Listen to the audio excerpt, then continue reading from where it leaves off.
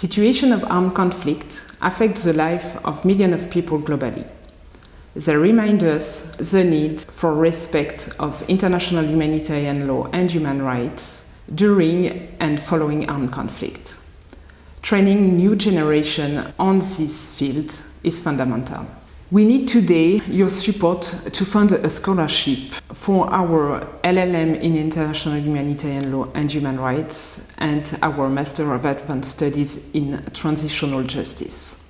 This scholarship is aimed at allowing a talented student to follow our programs and to pursue his career in this field. We talk about 18,000 Swiss francs per scholarship.